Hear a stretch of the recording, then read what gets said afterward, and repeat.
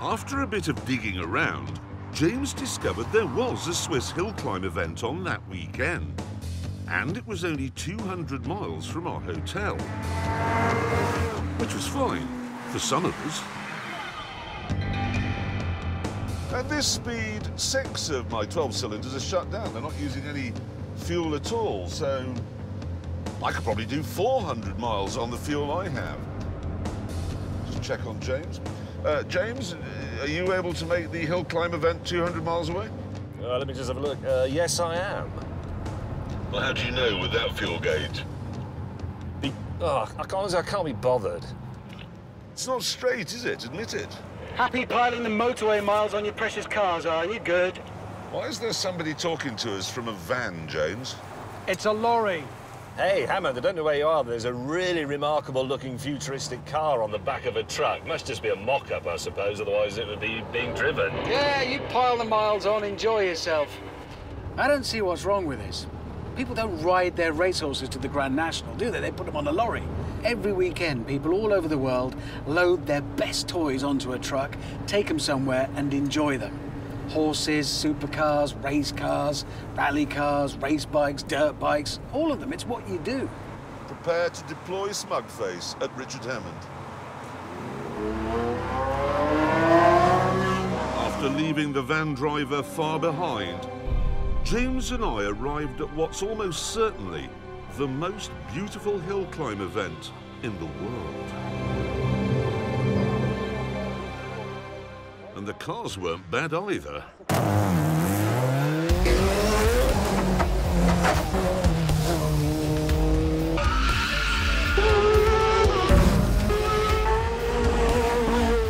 We were keen to get cracking, but first, we had some important business to attend to.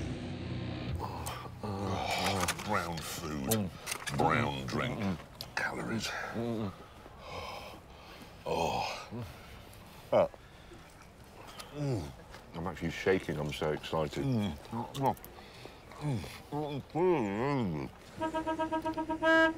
mm. what? All good here. Oh, yeah. It's the van driver.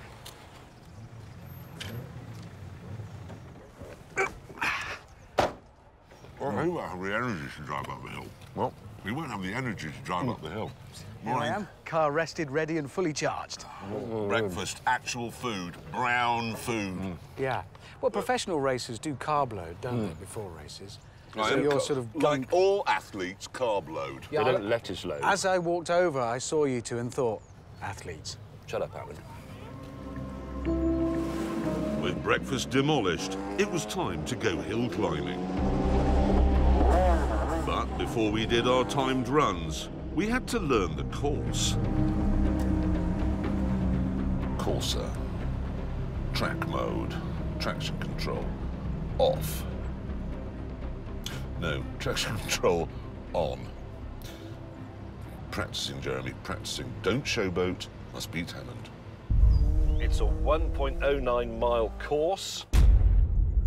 It has 11 corners.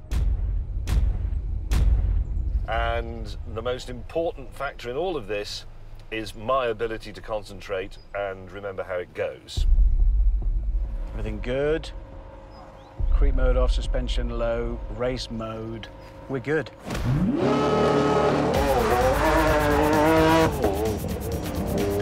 Okay, that's a good start. It's a bit wobbly going up here, but oh, lordy lord. Jesus Christ, it's tight and narrow.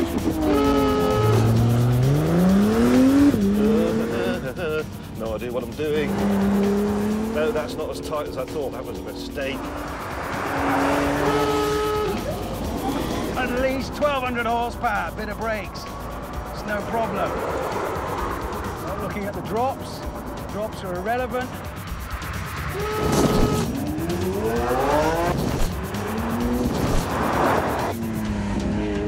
Balancing it through there nicely.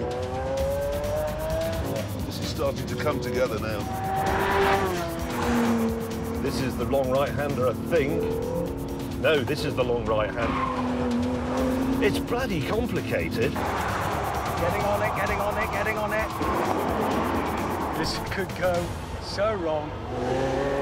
With the practice session complete, it was time to go against the clock. And for me, this was a problem. Because the rules said that in timed runs, I had to wear a helmet. No. No. Right, well, I can either drive like this with a helmet on, or... What the hell are we going to do?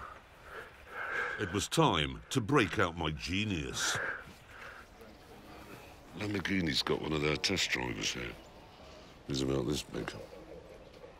What's your name? Jack, Giacomo. Giacomo. Giacomo is the Italian name. Giacomo. Giacomo. Giacomo. Giacomo. Whatever. Don't worry, you look exactly like me. I'll tilt that camera down, it'll make you look taller. Be fine with a crash helmet on. Curly hair, same as me. but you've got to sound like me. All right. So, Hammond, you idiot. Say that. Hammond, you idiot. Hammond, you idiot. You idiot. You idiot. Exactly, because he always is an idiot, so you can always drop that in. It's a useful phrase. the other one is, this is the fastest car, pause, in the world. This is the fastest car, pause, in the world. Say it. This is the fastest car, pause, in the world. With all that sorted out, James took his place on the start line. This is the big one.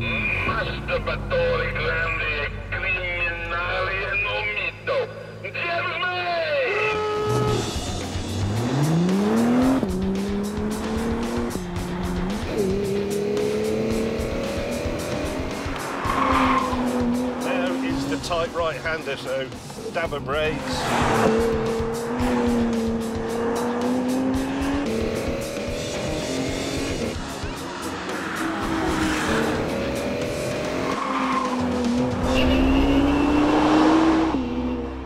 I'm sorry I didn't say anything. That was my concentrating face. That's the most I've concentrated for five years. Then it was my turn.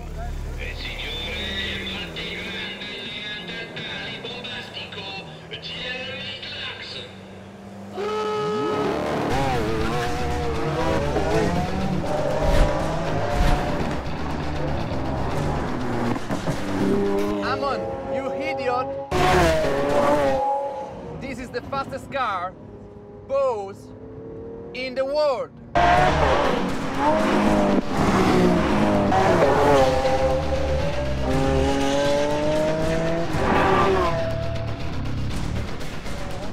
With an astonishing time on the score sheet, Hammond had it all to do, and we decided to give him some encouragement. Hammond, Yeah. really, really big crowds here today, as you can see. Yeah. Okay? Because they know you're going to break the record here. Well, Fif- I'm not- 54 seconds. Well, come on, you're at 1,200 horsepower. You've been practicing all morning. Yeah, you- actually, it is the most powerful car here by some margin. Well, I can't promise It's to. the fastest car win. I've ever seen. Look at it this way. The whole of Croatia is watching this, knowing that you're going to do it for them. In 52 seconds' time, you're going to be whatever the equivalent of a hero of the Soviet Union is, but in modern-day Croatia. They'll, they'll have a and name not just it. Croatia, Well, no, it's the whole spreading out. Eastern European region. Yeah. You have got a lot riding on your shoulders, Richard Hammond. You A will be- lot. you will be on a coin. Thank you, His guys. Indeed. face And will be on a coin. Or a stamp. Oh, I'm quite nervous. I'm suddenly nervous.